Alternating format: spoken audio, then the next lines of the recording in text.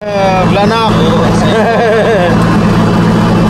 blanak guys sa gilid ng pier. Blanak guys. Yan ako sa gilid ng pier. Gawi.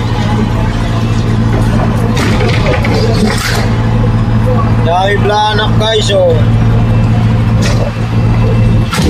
Yan. Ilang isang buwan na lang, papulihin ka na namin. Yeah.